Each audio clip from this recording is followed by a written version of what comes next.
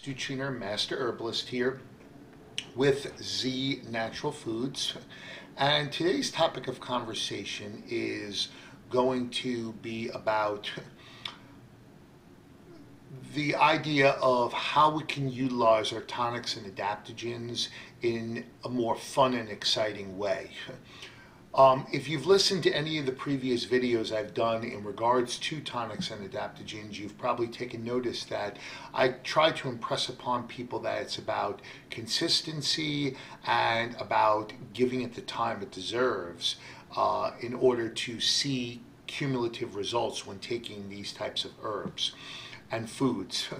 But I also understand because we're human that we can get bored with using the same thing in the same way every day. I mean, there's only so many smoothies you can make. There's only so many cups of tea you can make, and it gets pretty stinking boring.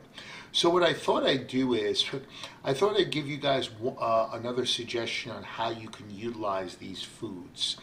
Um, and what, what I said was really key there. I said foods because if you begin to think of them as foods or medicinal foods, it would be easier for you to be able to incorporate this. So, not too long ago, I did a wonderful video.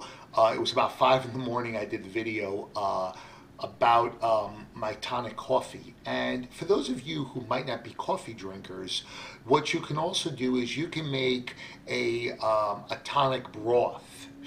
And you can, of course, if you're vegan or vegetarian, you can make it in, in a uh, like a vegetable broth.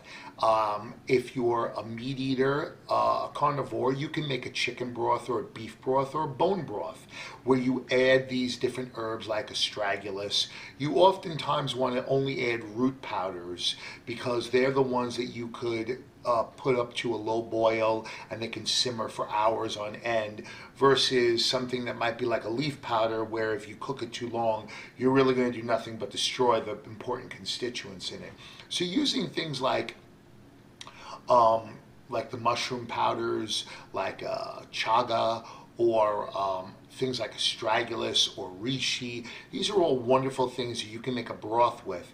And that broth can be used and cooked with almost any food. You could put rice in it, you could put noodles in it. You can make it as your hot drink in the morning if you really wanted to, uh, as a substitution for coffee, or you can even add it to your coffee if you really wanted to. There's a variety of different ways.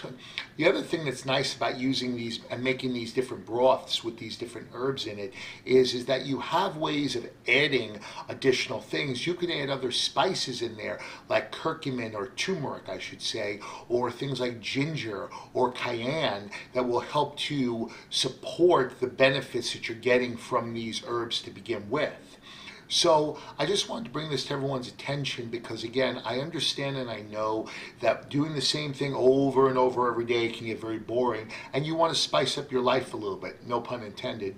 Um, so give some thought to making a big batch of broth. You can freeze it, you can refrigerate it, and it lasts a long, long time. But again, even with this particular form of, of using your herbs, consistency, consistency, consistency. I'll see you next time.